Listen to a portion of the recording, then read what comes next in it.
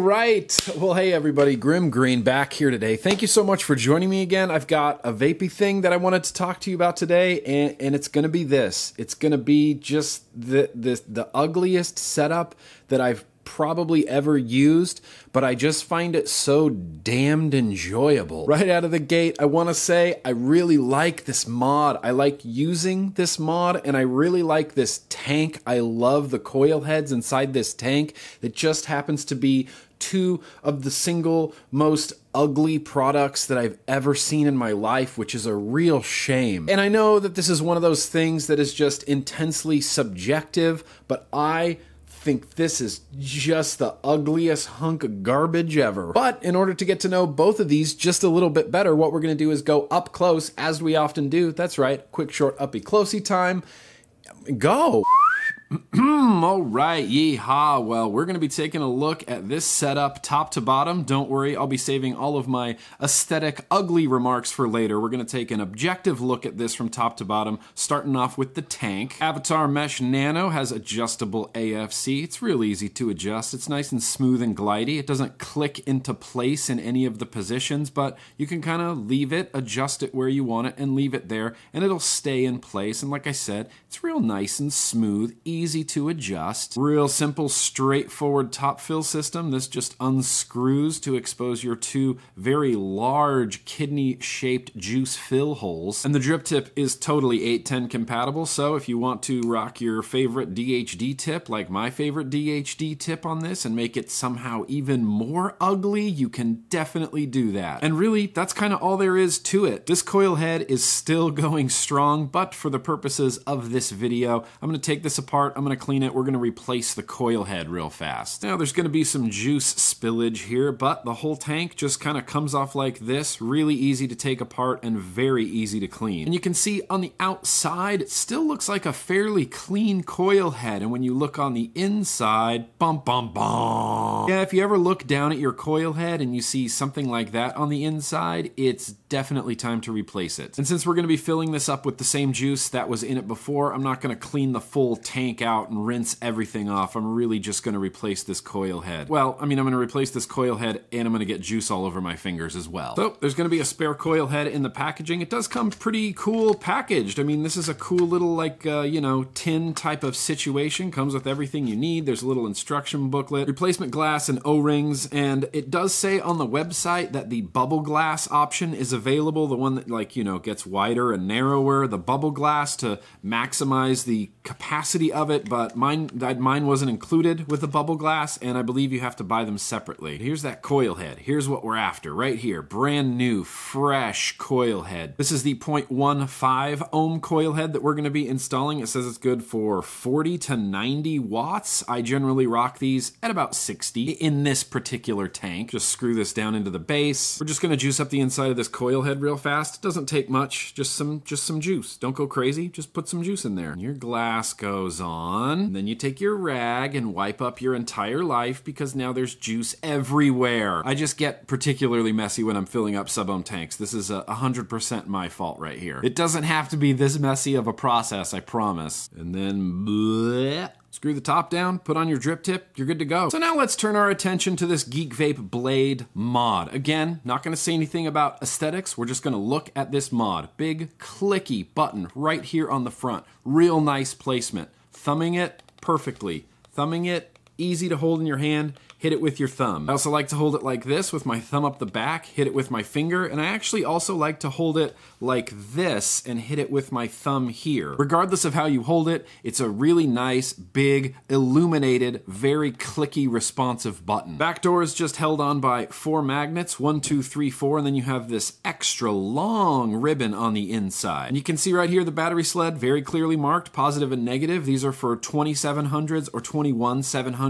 If you want to run dual 18650s, you're going to need to include this little uh, adapter right here. So you got to thread it onto the ribbon. Top goes in first, bottom goes in second, and now you're all set up for 18650 mode. Again, it's real clearly marked, positive and negative. Those four magnets on the door hold it on real well. It snaps on with authority, and there is no play, up, down, side to side at all. Fit and finish on this, surprisingly good. And the entire blade is plastic. The door's plastic, the body's plastic, the screen's plastic, the button's plastic, everything's plastic. Spring-loaded 510 connection is obviously, you know, not plastic. Five clicks powers it on the screen. It's nice. It's fine. There's it's not, you know, revolutionary. It's not reinventing the wheel. It's not some bright beautiful display, but it shows you what you need to know. Wattage, resistance, the amps you're using, the volts you're using, and how many puffs you have taken. Three clicks will activate the menu system and the up and down buttons become your navigation buttons and you can switch it back between, you know, uh, temperature control mode, custom TCRs, wattage mode. There's a parallel bypass mode in there as well. For me, I'm a wattage vapor, so I leave this just simply in wattage mode. Got that Avatar Mesh Nano tank back on there. So what we're gonna do is we're gonna get back out to normal view and we are going to vape this hideous thing.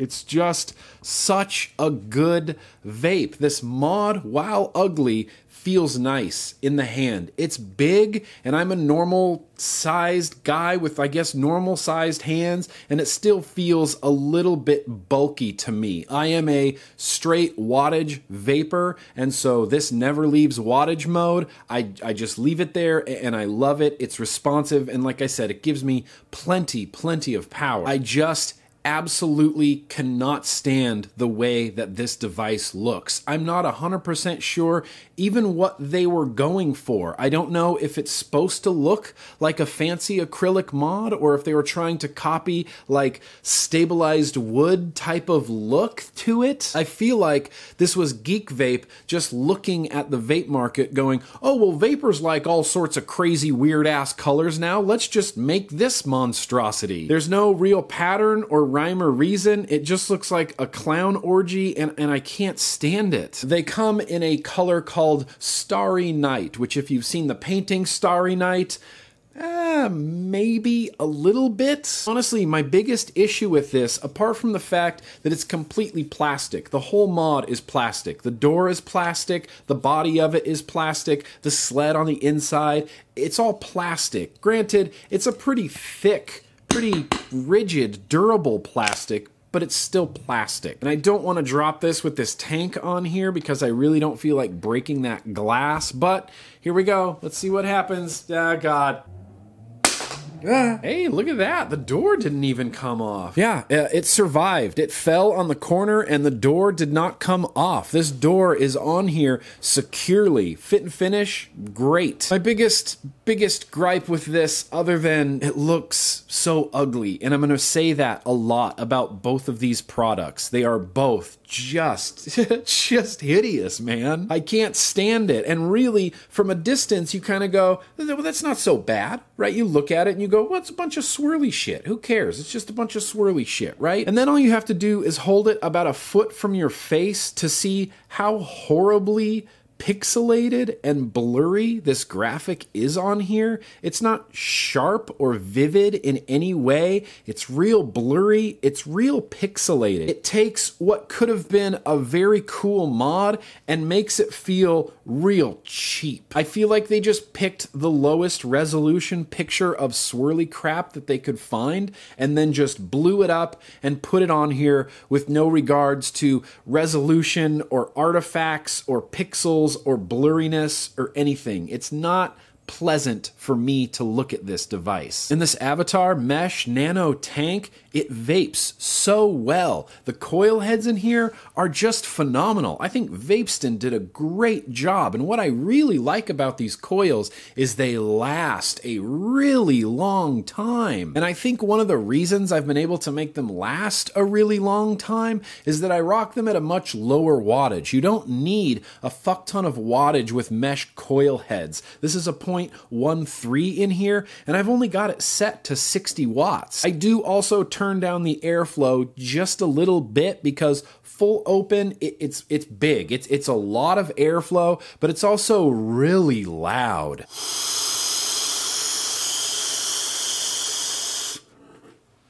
Again, I mean, huge clouds of vapor. You'll be exhaling a weather system and you'll be exhaling a very flavorful weather system. The mesh coil heads in here just deliver that great saturated flavor vape that I love so much. But I do find myself turning down the airflow about halfway and giving it a less intense sort of toot. The velocity at which you're inhaling just bring it down a little bit. Just pump the brakes a little bit. Just turn the airflow down a little bit, turn the wattage down a little bit, and then pump the brakes with how hard you're dragging on this. I much prefer this with a little bit more restricted of a lung hit.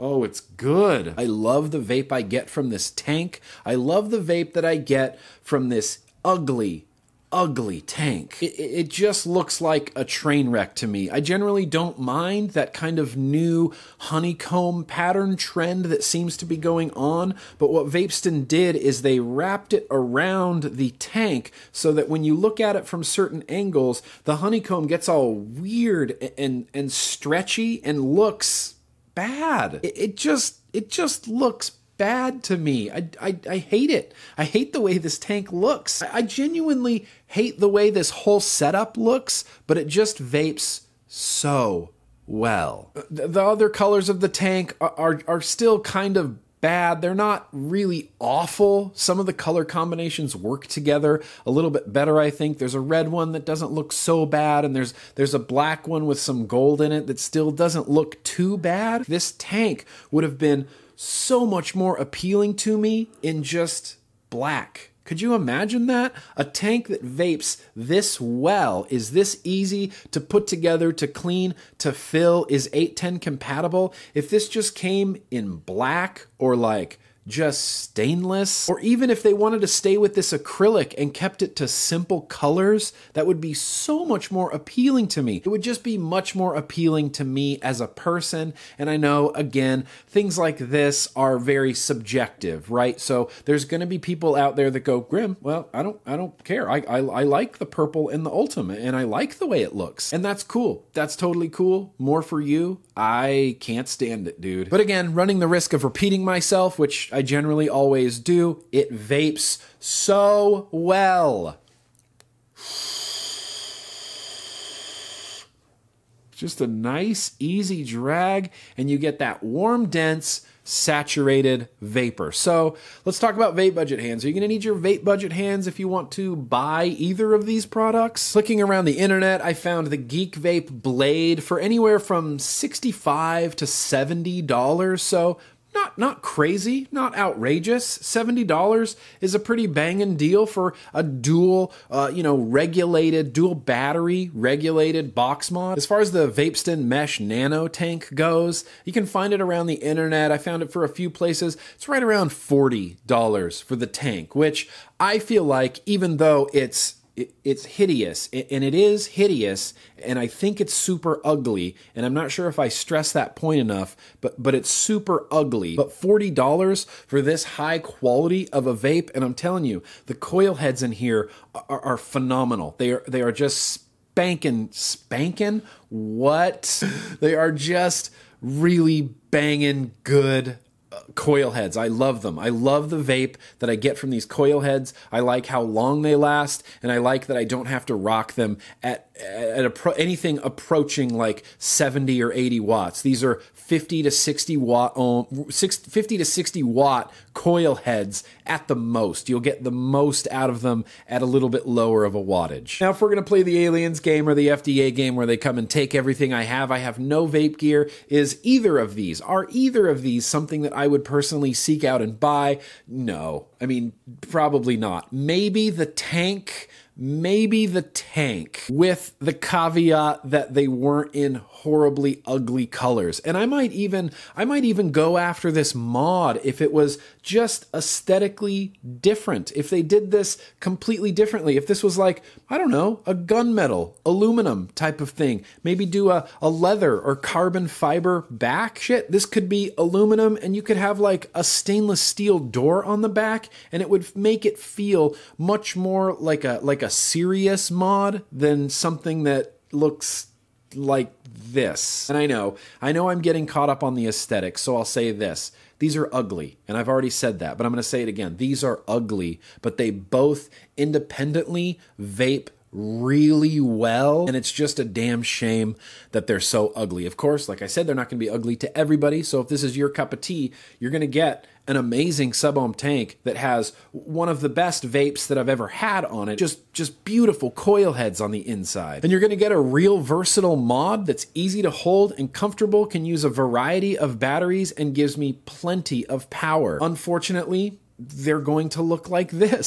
so, anyway, that's what I got, everybody. I'm going to wrap this up. I'm going to throw some links down in the description to where you can check these out. If you're interested in them, if you're not adverse to really horrible colors, then these could be a pretty viable option. As I've said already at least 8,000 times, I, I really like vaping on it. So, anyway, that's what I got for today, everybody. Thank you so much for watching. And as always, no matter what it looks like, let's keep on vaping.